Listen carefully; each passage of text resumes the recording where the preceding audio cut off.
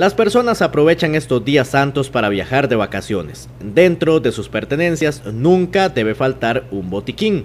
En la Cruz Roja Costarricense aquí de Pérez Celedón realizan varias recomendaciones de artículos que nunca pueden faltar y de aspectos que hay que tomar en cuenta a la hora de emprender un viaje de recreo. Nunca olvide los medicamentos. Remura el viaje, la emoción y demás.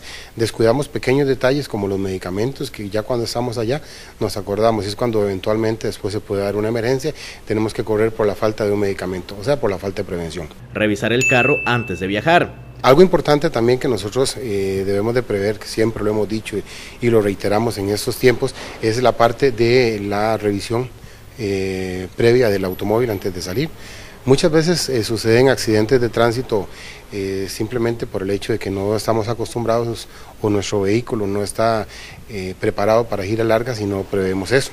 Entonces es cuando nos fallan los frenos o no tenemos algún desperfecto mecánico que al final nos puede ocasionar un accidente. Entonces eh, muchas veces en máxima en estos caminos, bueno acá en Pérez Celedón y en general en la zona sur eh, tenemos eh, lugares muy quebrados. Repelente y bloqueador. Somos alérgicos a algún tipo de mosquito y, y nunca como no hemos estado expuestos cuando vamos a la montaña, ríos y demás, no, no probemos eso. Entonces siempre tener un buen repelente.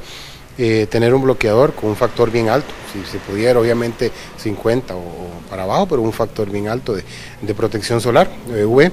Entonces siempre ah, para ir a la playa, muchas veces creemos, bueno, como lo vemos ahorita, el tiempo está un poco nublado y creemos que no nos van a afectar los rayos UV, pero siempre cuando vamos a salir es recomendable eh, para la prevención de, de cualquier tipo de exposición de la piel. Las famosas curitas. Nos puede ayudar en una caminata que ya se nos eh, hace alguna escoracioncilla leve, lo comúnmente que llamamos las vejigas o los chollones por los zapatos.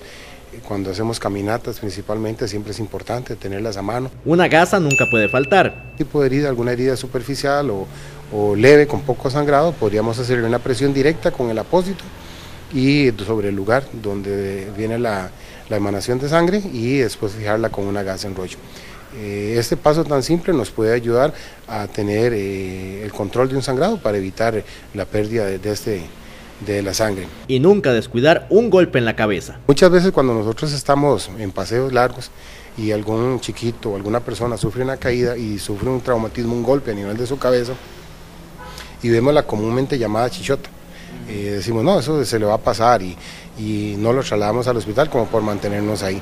Puede ser, hay que valorar muy bien qué tipo de traumatismo fue, si fue una caída de su propia altura o ya una precipitación de más de un metro, eh, siempre es bueno trasladarlo a los centros hospitalarios, porque puede ser que internamente se nos esté dando una dematización a nivel cerebral, entonces ahí vamos a tener una inflamación que horas después es que se nos va a, a ver los efectos. Estas recomendaciones le pueden servir para que sus vacaciones sean muy La Cruz Roja sigue muy atenta a cada zona turística que durante jueves, viernes santo, sábado y domingo tienen un incremento sustancial de personas.